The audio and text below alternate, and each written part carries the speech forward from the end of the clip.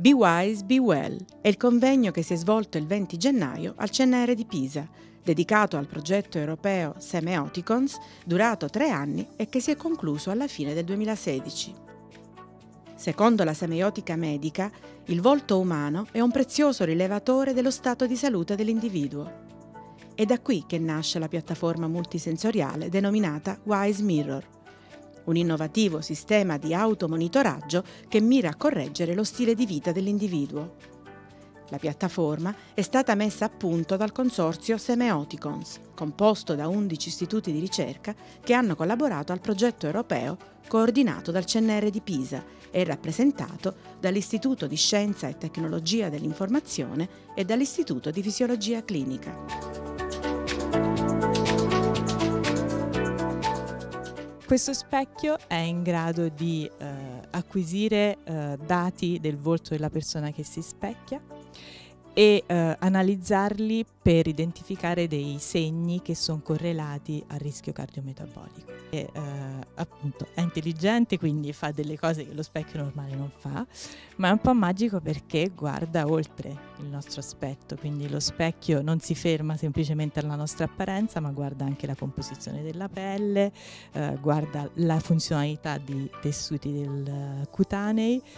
e eh, guarda appunto le nostre espressioni, vabbè anche equipaggiato di un sensore che analizza il nostro esalato, quindi insomma fa tante cose, le, quindi acquisisce tante informazioni, le elabora e poi le integra in, in una stima del nostro stato di benessere. Lo scopo dello specchio magico è quello di ridurre il rischio cardiometabolico e di modificare, con un orientamento del tutto personalizzato, alcuni fattori significativi della genesi delle malattie stesse quali obesità e sovrappeso, errata alimentazione, sedentarietà, fumo e abuso di sostanze alcoliche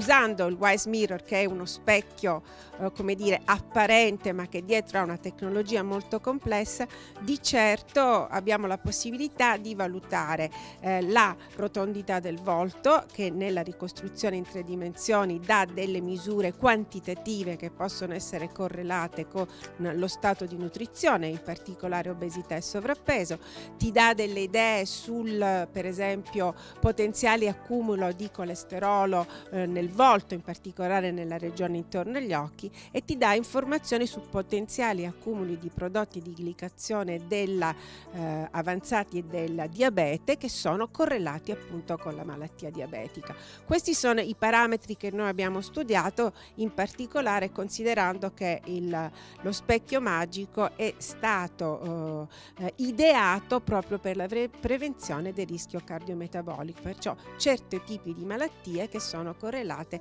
a possibili sviluppi di diabete di tipo 2 e a malattie cardiovascolari.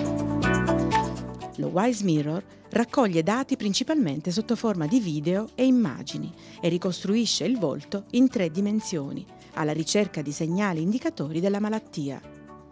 I dati raccolti, elaborati con metodi e algoritmi, sono integrati in un indice di benessere, la cui evoluzione temporale descrive lo stato dell'individuo. Un sistema di coaching, mediante messaggi e suggerimenti, guida l'utente, che deve comunque sempre rimanere in contatto col proprio medico. Lo specchio magico non sostituisce il medico, però è un supporto al medico. Non è al momento lo specchio un apparecchio medicale, potrebbe benissimo diventarlo visto i risultati, ma si prevede già, si è già previsto dall'inizio l'interfaccia col medico di famiglia. Il progetto Semeoticons è il risultato della collaborazione tra realtà differenti, ma allo stesso tempo escindibili, come ricerca, tecnologia e impresa. Quest'ultima oggi molto attenta alle esigenze dell'utente finale che affida sempre più la propria salute alla tecnologia. C'è un'evoluzione tecnologica sempre continua che migliora il benessere delle persone. È importante la collaborazione tra uh, le imprese e chi fa ricerca, quindi gli organi diciamo, di, di, medicina. È importante perché, perché eh, con la tecnologia che avanza, che avanza a passi da gigante, le imprese oggi ovviamente eh, sono principalmente alla ricerca del profitto, però hanno bisogno comunque della componente medica per certificare sicuramente le attività che fanno. Raccogliere una mole di informazioni un tempo non gestibili, saper leggere queste informazioni e soprattutto saper passare queste informazioni in un modo leggibile all'utente finale.